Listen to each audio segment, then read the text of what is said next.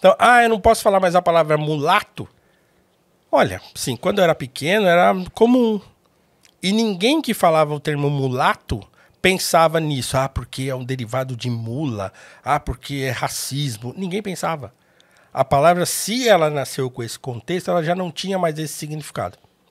Criado mudo é a mesma coisa. É claro que essa é uma invenção. Criado mudo é, é, É fake inven- news. fake total.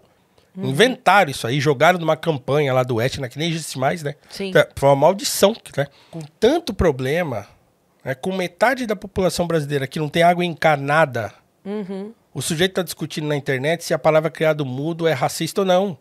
Assim, é uma invenção. Ainda que lá no tempo da escravidão tivesse esse significado, ninguém que hoje vai comprar um criado mudo ou que tem um criado mudo em casa, olha para aquilo e fica imaginando um preto parado lá da cama com uma bandeja ou uma toalhinha no braço.